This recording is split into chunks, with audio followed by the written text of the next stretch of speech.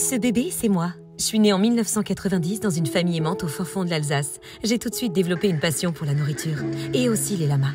Dans ma famille, on me destinait à une grande carrière de sportive et j'ai attisé beaucoup de déceptions quand c'est vers les arts de rue que je me suis tournée. Le diabolo n'a jamais fait rêver personne, disait mon père. Depuis, je n'ai eu de cesse de me cacher derrière des déguisements et de chercher mon artistique à travers mes différentes personnalités, jusqu'à devenir finalement celle qu'on n'attendait pas. La plus grande chanteuse que l'histoire de la chanson française ait portée.